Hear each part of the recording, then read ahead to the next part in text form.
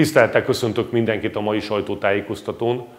Néhány perce hangzott el a Magyarország gyűlésben a kormány válasza az üdüléssel, turizmussal kapcsolatosan, amely arról szólt, hogy a múlt héten kijöttek különböző elemzések, statisztikák, jelentések az éves turisztikai adatokról, különösen a nyári balatoni szezonról.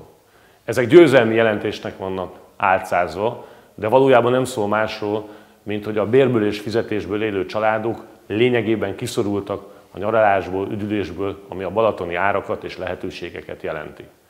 A magyar kormány cinikusan időt húz, nem tesz intézkedéseket, nem támogatja azokat a javaslatokat, amelyek a szabad strandok létesítéséhez vezetnének, amely olcsó szálláshelyeket teremtenének, amely a legrászorultabb családok javára 100 ezer forintos idényenkénti üdülési támogatást adna, és különböző szálláshelyeknek, amelyek akár milliárdos támogatásokat is kaptak az elmúlt években, kötelezővé tenni bizonyos vendégészakáknak a közösség, a nyaralók, a magyar családok részére való felajánlását. Ezért a mai napon benyújtom horvát mintára az Adria törvénynek azt a változatát, amely a Balatonra vonatkozik, elsősorban a Balatonra, de minden magyarországi természetes eh, tóval kapcsolatos üdülési lehetőségre, mert ez a nemzetközi példa, ez a horvát példa, ez azt mutatja, hogy van lehetőség arra, hogy törvénybe iktassuk, hogy ne lehessen pénzt szedni, belépőjegyet kérni azért, hogy egy természetes képződménybe, Magyarországon a Balatonba bejuthassanak a magyar családok. Elfogadhatatlan, hogy ezért fizetős strandokat és kerítéseket emelnek.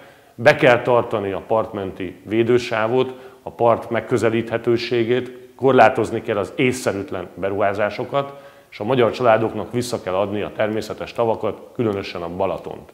Szankcionálni kell azokat, akik ennek nem tesznek eleget, ezért ebbe a törvényjavaslatba súlyos pénzbüntetés, pénzbírságok fognak szerepelni, akik nem teszik megközelíthetővé a partot. Én nagyon bízom benne, hogy ez a törvényjavaslat széleskörű társadalmi támogatásra talál, és előbb-utóbb a magyar kormány is belátja, hogy a Balaton az mindenkié, nem az önkormányzatoké, nem a helyi polgármesteré, viszont szükség van kompenzációra az állami költségvetésből. Nem kérdés, hogy ennek van forrása, például a Nemzeti Bank különböző tartalékai és alapítványainál még találhatunk néhány milliárdot arra, hogy támogatni lehessen az önkormányzatokat, hogy ne az ő kárukra valósuljanak meg a szabastrandok. Köszönöm, hogy meghallgattak.